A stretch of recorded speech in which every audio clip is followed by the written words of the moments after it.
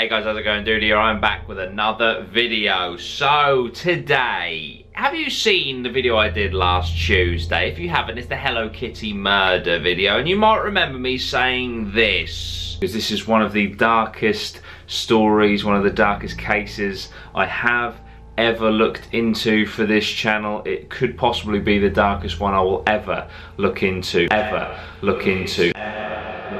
Well, no more than two days later am I going to go even darker than what I thought was the darkest place I'd go on this channel. Today I'm going to talk about the tragic torture, rape and murder of Junko Furuta. Junko was a 16 year old schoolgirl, very bright, had a good future ahead of her academically. She was great, she never got herself into trouble, she never delved in drugs or drinking or smoking or anything like that. In November of 1988, her fate would take a dark and unfortunate and tragic turn. Junko was very pretty and always got the attention of the guys. And one day she got the attention of Hiroshi Miyano. Now everyone knew Hiroshi Miyano around the school as the bully, but the scariest thing about Hiroshi was the fact that he had heavy connections to the Yakuza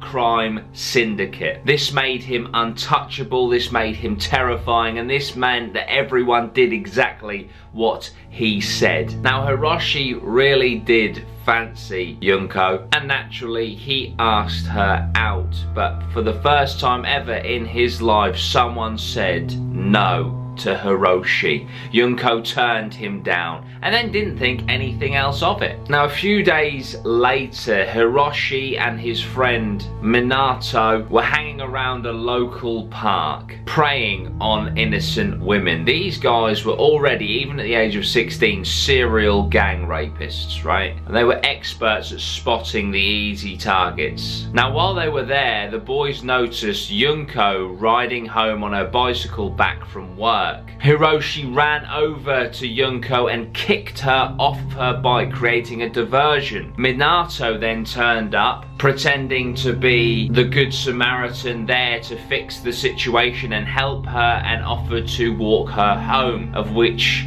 she said yes, not thinking anything of it, thinking that he was her saviour, if you like. She never made it home ever again. Instead, Minato and Hiroshi led her to an abandoned warehouse where Hiroshi raped Yunko and told her that if she tells anyone, her family will die and her friends will die and she will die. They then took her back to the park where Minato and another friend, Ogura, raped her and then they took her back to Minato's parents' home. Now, Yunko's parents did call the police and report her missing, but the boys had that covered. What they did was they got Yunko to call her own parents and tell them not to worry, that she had ran away from home. She was now living with a friend, but she was in no form of danger. And she was so terrified of these boys and their, their connection to the Yakuza that she did exactly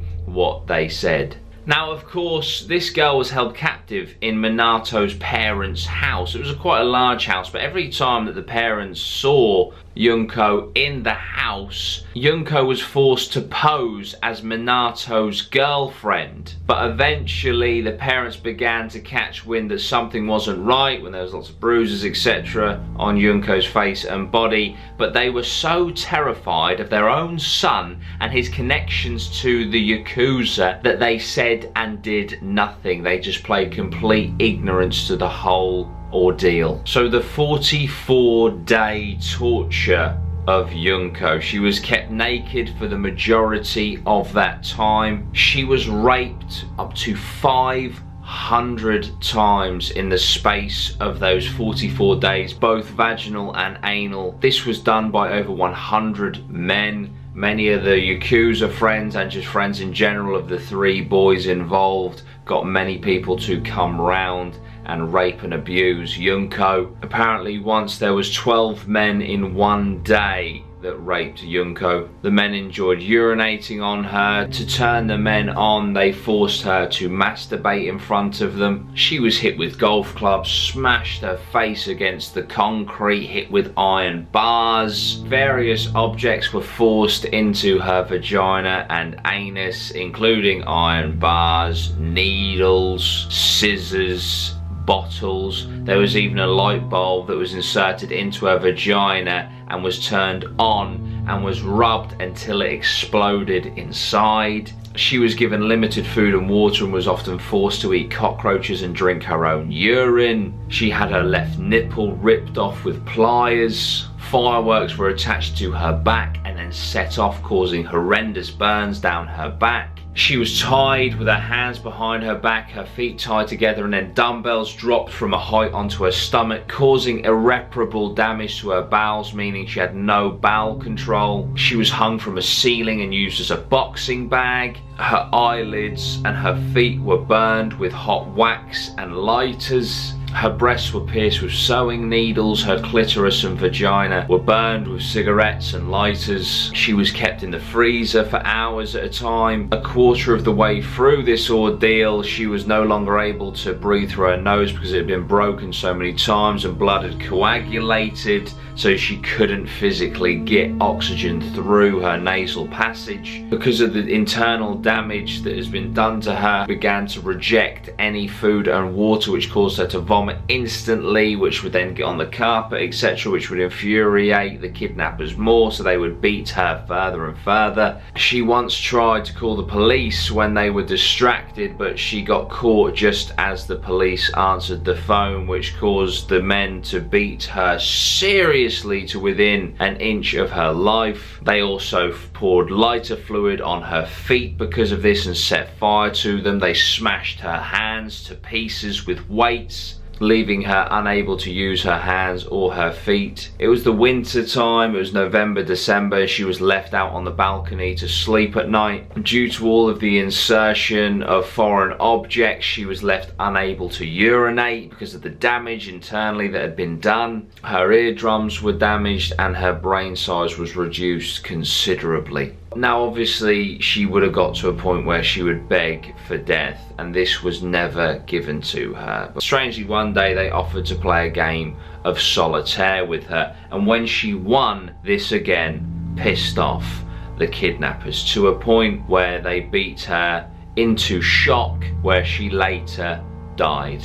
Now this panicked the men and they decided to stuff her body into a 55 gallon drum and fill it with cement, putting it on a cement truck to be taken away. Now before we get on to how they were eventually caught, the tragic thing about this is the police were informed of her being missing twice. The first time was from a boy who was invited over to rape and abuse her. He went home and told his brother about what had happened and his brother went straight to the police and informed them everything that was going on. The police went round to the house, knocked on the door and was greeted by Minato's parents who assured the police that there was no girl in the house and that it was probably just a sick prank which the police believed and so they never returned to the house again. The second time of course was when Yunko herself tried to call the police and they answered but there was no voice on the other end of the phone before the phone was cut off.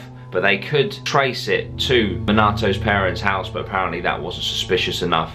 And when they called up Minato's parents again they were like no it must have just been a mistake on our end calling you we are sorry, and the police didn't intervene any further. Two weeks later, Hiroshi and Ogura were arrested on a completely separate gang rape charge. Now during Hiroshi's investigation, the police mentioned an open murder case. Now believing it was the murder of Yunko, thinking shit they know about Yunko's murder, he confessed and told them where they could find her body. And the thing was, they were on about a completely different murder. So he actually confessed unknowingly to a murder he could have got away with. Within days, the main perpetrators were in custody. Now, despite everything that they did to Yunko, despite the absolute abhorrent things they put her through, their, their sentences were incredibly light. Hiroshi was sentenced to 20 years, Shinji Minato was sentenced to five to nine years, Joe Ogura served eight years, and Yasushi Watanabe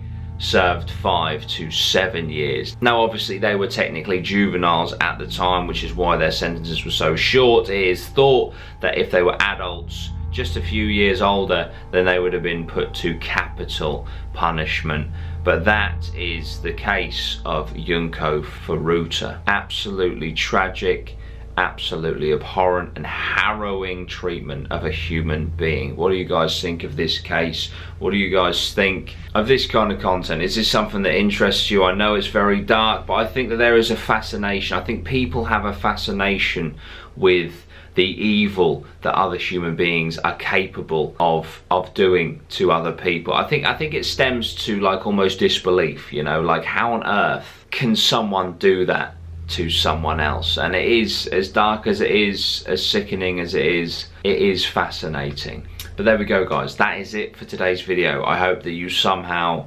enjoyed if you did, please do like, share and subscribe. It does really help me out. Also, if you want to become a patron and support me that extra mile, the link is down below. Also, I stream on twitch.tv forward slash Rhino. So if you fancy watching me on Twitch, watch me play a few games, play Call of Duty, play survival horror games, we watch documentaries and scary videos and all that good stuff over on twitch.tv forward slash Rhino. If you want to come and join me, I'd appreciate it and I'd love to see you there. I stream most days. Thank you so much, guys. I really do appreciate it. If you want to get ExpressVPN, US Netflix, protect all your data, encrypt all your passwords. The link for that is down below, guys. Thank you so much. I will see you very, very soon. Be careful out there, guys. Sometimes it can be quite a dark world.